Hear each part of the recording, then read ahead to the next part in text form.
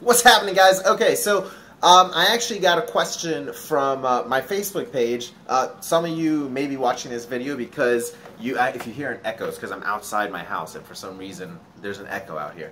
Um, and uh, I started a Facebook page, and I've been getting a, a, lot of cool traction on it, and people are actually sharing my stuff and messaging, and I truly, like, I really appreciate that. I think that's super amazing. Like, when somebody shares my stuff, it's like the biggest compliment. It's like bigger than a comment, bigger than a, a like or anything, because you actually shared it. You know, that's that's pretty sweet. Um, so keep doing that. Anyway, um, but I think uh, Jason McIntyre, I don't know how to uh, do editing, so or else I would do like a cool little pop-up of like your name and your face and everything on this video, but I don't know how to do it, so. Um, anyway, you sent me a message, it was really cool, a private message asking how uh, I would deal with uh, letting go of an employee who is like a relative.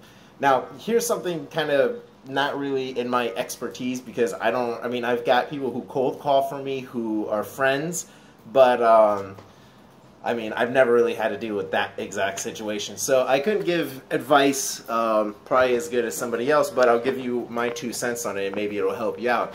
So what I think is um, if you yeah, okay, I'll give you a situation. I actually used to work. Uh, I won't say where, uh, but uh, a, I actually used to work for a good friend. I was a, kind of a free employee, um, but he taught me a lot of good stuff skill wise, so it was good.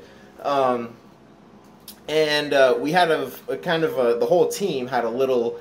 Uh, there's a lot of drama going on, and some people had to get fired. And uh, you know, I told the my boss, my friend, I was like, look, straight up, if you have to fire people, and let's say I am one of them, don't worry. I don't want you to think it's going to jeopardize our friendship. I'm still going to be cool with you. I understand business is business. Just give me a real reason so I know what happened, um, so I don't fuck up in the future. But like, I totally get it. So don't worry about it. And I remember sending that in an email to him, um, and I, that's kind of my approach. That's kind of what I think. If in reverse, if you have a, uh, if you're the boss and your cousin, your brother, your whoever is your employee, then I think if they're really like your friend, or if they're really going to be cool with you, then they're going to understand business is business. And as long as you got a legitimate reason, like let's say they're really messing up and you're not able to make money or anything like that, and you're screwing up, they're fucking up or whatever, then you got to let them go. Give them a legit reason, you know, just sit them down, be cool, be real, and, um, and that's it. You know, I think that's, I mean, that's my two cents. You, it's a cancer. If they're a cancer to your business,